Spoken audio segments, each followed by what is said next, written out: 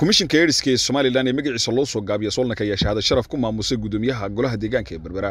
Agaasimayaal ka socda komishinkaasi ayaa kulan la qaatay gudoomiyaha golaha deegaanka berbera. Waxaana uga mahadnaqeen in howlaha uu ka qabtay magaalada iyo sidoo kale sida uga qayb qaato daryeelista dadka jilicsan waxaa halkaasi ugu horreyn hadal ka soo jeedisay caashi maxamed xuseen agaasimaha daryeelka iyo daaweynta ee komishinka eedhiska ee somalilan iyo sidoo kale maxamed xaaji yaasiin agaasimaha wacyigelinta iyo abaabulka ee komishinkaasi waxaana uga mahadnaqeen gudoomiyaha golaha deegaanka berbera sida uu la shaqeeyey iyo weliba waxyaabaha uu ka qabtay degmada. Maanta maayir waxaanu kuugu nimi mahadnaq inaanu kuu mahadnaqno isgarabtaagga aad isgarab taagtid dadkaaga degmadaada ku nool xanuunka h i v aidska la nool oo runtii iyaguna mahadnaq iyo abaal weyn oo ay annagana na soo gaadhsiiyeen annaguna aanu kuu ognahay inaanu maanta shahaado sharaf kugu guddoonsiino iyo raashin boqol iyo soddon qoysa oo aad maanta degaankaaga aad bixisay oo aanu u qaybinaynay oo aanu idinka guddoonnay. Dee markaa waxaa maayar inaad naga guddoontid wada shaqayn wanaagsan weliba waxaan ku dhiiri gelinayaa oo aan leeyahay guddoomiyeyaasha degmooyinka ee shanta gobol ku dayda cabdishakuur. Sida uu dadkiisa maatada ah iyo dadkiisa xanuunka la nool oo wuxuu ugu qabanaya waxaan leeyahay maayarada gobolladana fariintaasaan gaadhsiinayaayo iyaga aanan waxba ka hayn. Insha allah laakiin waxaan rajaynayaa inay ku daydaan maayarka iyo tiimkiisa dowladda hoose ee berbera. Aad iyo aad baanu maayarka ugu mahad celinaynaa.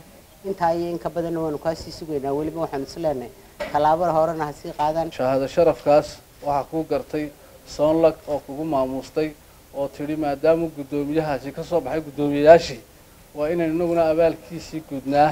Runtii ma noqonayso tii koowaad aan kuu keenno wada shaqaynteenuna noqon mayso tii koowaad. Oo xogayaha nala joogay saaka oo si fiican u bayaamiyey oo adiguna adigii naga mashquulay oo maayo waxa kula joogay maayarkii ladhan waxaanu kaaga mahadnaqaynaa adigoo waktigii shaqada ku jira sida qiimaha leh sharafta leed noo soo dhaweysay.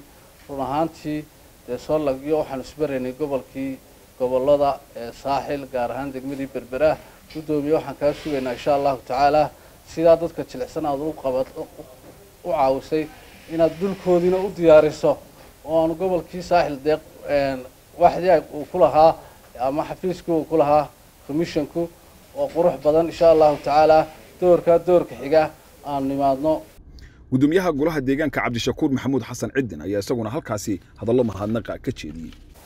Oo gartay inay miisaaniyadooda ay sanad walba ku muujiyaan in dadka walaalaheena ah ee bulshada ay maamulo ka midka ah in gacan laga siiyo miisaaniyadda ku yeeshaan. Marka anigu waxaan fuliyaa waxa ay goluhu ay go'aamiyaan. Ayaan anigu aan ku shaqeeyaa. Sharafta iyo karaamada iyo magacaana waxaa iskale golaha deegaanka degmada berbera anaguna waxaa fulintii shaqadaa u haysay.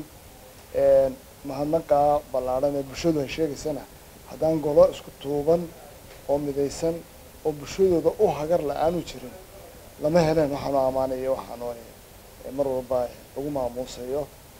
Waa waajibaadaan leenahay inaan ka sii kordhino mooyaane kama soo nusqaamino insha allahu suukaaya haleeya haddii ay tahay dhul iyo hadday tahay dhaqaaleyntaba wixii la awoodo diyaar baan. Mukhtaar cabdiraxmaan maxamuud telefishinka qaranka somalilan berbera